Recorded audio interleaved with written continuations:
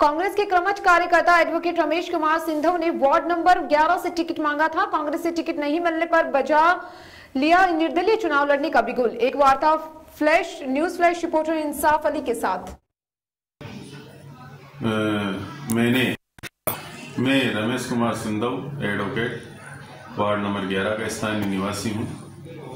और अ, मैंने वर्तमान में कांग्रेस पार्टी से वार्ड नंबर ग्यारह से आवेदन किया था। लेकिन मेरे को दो तीन बार मैंने प्रयास किए, लेकिन मेरे को टिकट नहीं दिया गया। पता क्या, इस प्रकार के ऊर्जावान और पार्टी के समर्पित कार्यकर्ताओं को टिकट नहीं दिया जाता।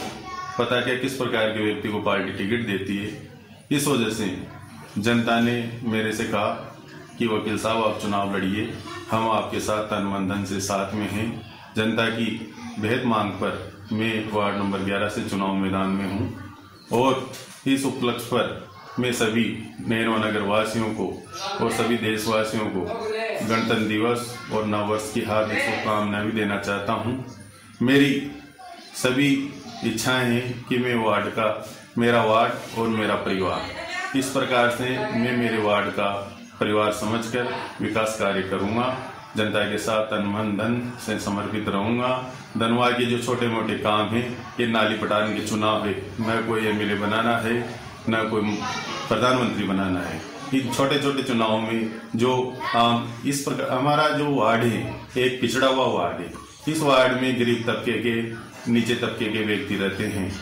लेकिन इस वार्ड की कोई सुनवाई नहीं करता है। जब जब भी व्यक्ति यहाँ से जीत के जाते हैं चले जाते। हैं मात्र इस वार्ड के देखते हुए मतदाता समझ रखता है।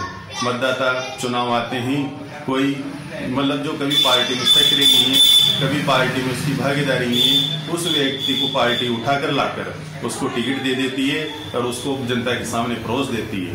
वार्ड के सामने परोस देती है और वार्ड वासियों से कहती है कि इस व्यक्ति को दो वोट, हम किस आधार पे वोट दें वो न तो जो वार्ड वासियों के सुख दुख में काम आया, न कभी उसने कभी विकास कार्य करवाए वार्ड में। कई समस्याएँ वार्ड की। विधवा महिला है, जिनकी पेंशन चालू नहीं हो रही है।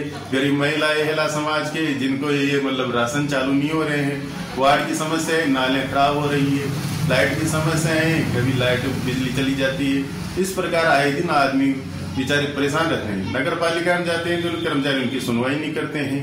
इस प्रकार जनता की मांग पर मैं वार्ड नंबर 11 से निर्दलीय चुनाव लड़ रहा हूँ और मुझे विश्वास नहीं, अभी तो पूर्ण विश्वास है कि मैं चुनाव जनता की सहयोग से से जीतूँगा और पूरी नहरवा की सेवा करूँगा और मेरे वार्डों का सभी का मैं आभार और धन्यवाद।